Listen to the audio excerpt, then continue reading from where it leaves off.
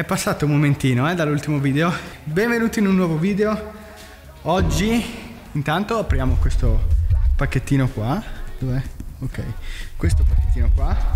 E poi voglio parlarvi dell'RF 50 mm o comunque dell'unica lente che secondo me vale la pena avere nel proprio kit. Ma prima voglio aprire questa scatolina perché voglio vedere cosa c'è dentro. Cioè, io so cosa c'è dentro, ma voglio vedere insomma come fatto? So, avete capito.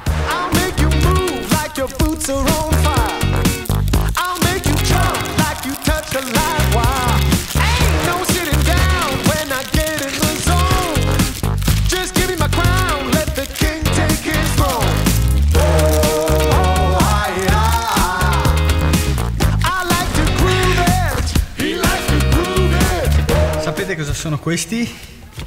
Questi sono dei portafondali motorizzati. E con quest'angolo dall'alto non è di questo che voglio parlarvi ma un momento di questa lente qua. 50 mm 1.8 RF ma sediamoci un momento e ve ne parlo vi dico i pro e i contro di questa lente perché mi piace perché non mi piace è un overview un po' generale dopo circa un paio di mesi di utilizzo.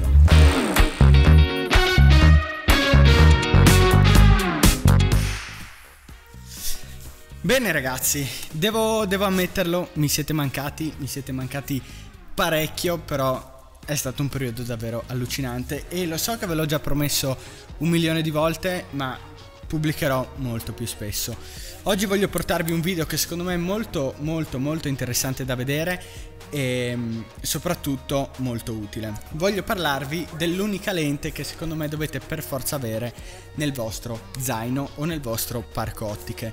Che voi scattiate con Canon, Sony, Nikon, Fujifilm, qualsiasi sia il vostro marchio, scattate con quello, sapete che io sono un fanboy Canon e che quindi tutta la mia attrezzatura è Canon, però si applica perfettamente per qualsiasi altro tipo di marca con cui scattiate. Parlando di questa lente in particolare, la prima cosa è ovviamente la portabilità. Come vedete è un obiettivo davvero piccolissimo, vediamo se ve lo metto a fuoco. Ok, è davvero davvero piccolissimo, non pesa niente ed è 1,8 quindi è molto luminoso, molto rapido, ha un bouquet davvero pazzesco. Per cosa si può usare questo obiettivo qua? Io principalmente l'ho usato per ritratti perché sinceramente dal mio punto di vista il 50 mm è un must have per ritratti perché ti permette di fare un milione di cose diverse. Ciò non toglie che sia una lente fantastica anche per landscape. Chiaro, non è un grandangolo ma non sempre abbiamo bisogno di immortalare panorami allucinanti. Tante volte con un 50 mm possiamo raccontare storie molto molto diverse. Quindi primo punto a suo favore è la portabilità. Secondo punto a suo favore è sicuramente la nitidezza. Questo obiettivo qua che costa all'incirca 250 euro mi pare, adesso non mi ricordo, comunque vi metto il prezzo qua da qualche parte, ha una nitidezza davvero paurosa. Secondo me comparabili alla serie L di Canon che comunque costano migliaia e migliaia di euro per mille altri motivi, però ha una nitidezza davvero paurosa. Come potete vedere in queste foto che ho scattato, l'occhio è sempre perfettamente a fuoco e quando è a fuoco è davvero una cosa pazzesca. Sono stato veramente super colpito da, dall'immagine che si riesce a tirar fuori da un obiettivo del genere. Terza cosa, molto molto importante è un obiettivo leggerissimo essendo così piccolo pesa veramente pochissimo ed è portabile in qualsiasi tipo di situazione che voi siate in studio o che siate a fare una scampagnata all'aperto dobbiate scalare non so una montagna fare 1200 metri di dislivello non volete portarvi attrezzatura UFO che insomma vi, vi pesa vi intriga e tutto quanto questa è una lente assolutamente perfetta. Super piccola super portabile non è la solita plasticaccia, sì è plasticoso, però comunque abbiamo un obiettivo bello solido. Addirittura adesso con gli RF gli hanno fatto la, la, ghiera dietro in alluminio, quindi è molto più resistente, molto più, molto più forte, insomma non avremo nessun tipo di problema con la stabilità dell'obiettivo. Questo però ci porta a un altro problema, ok? Gli obiettivi troppo leggeri. Per chi fa video sappiamo che avere una macchina troppo leggera non è il massimo anche perché ci fa avere tutto quel micromosso che ci rende insomma il video un po' meno piacevole da guardare. D'altro canto, averlo su un gimbal è come avere in mano un giocattolino perché non pesa veramente niente.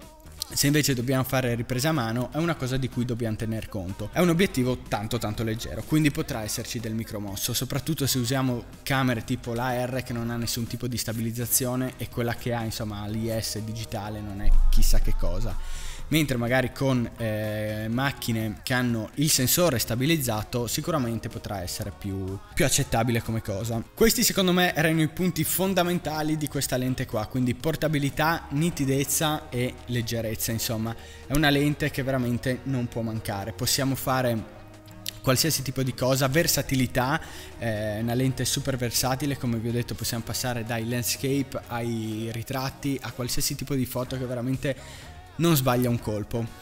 L'unico problema che ho riscontrato con questa lente è solo uno, l'autofocus ragazzi.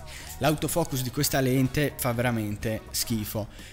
Sarà che probabilmente sono abituato alla serie L di Canon, quindi il 1635, il 2470, il 7200, lenti che insomma sono veramente paurose, non hanno nessun tipo di problema di autofocus, anche pur utilizzando la R con l'adattatore veramente non, non posso dire assolutamente niente. Quindi probabilmente per questo mi sono trovato alcune volte a eh, avere l'obiettivo che faceva l'hunting focus, quindi andava a caccia dell'autofocus e dell'occhio cosa che se sei in uno shooting in cui magari è molto dinamico, le cose cambiano velocemente e hai bisogno di rapidità, ti fa veramente incazzare perché alcune volte addirittura mi trovavo a dover spegnere e riaccendere la macchina. Questa è l'unica pecca secondo me di questo obiettivo, non è abbastanza rapido per le mie esigenze.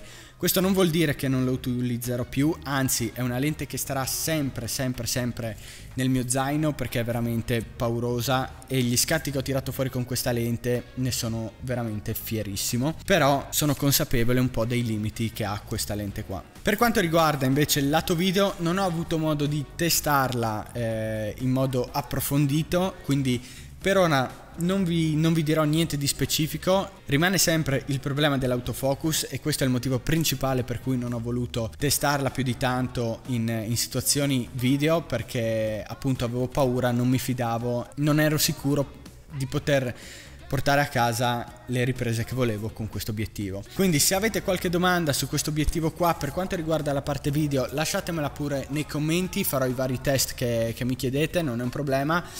Per oggi è tutto, noi ci vediamo alla prossima. Peace. Troppo grandangolo qua.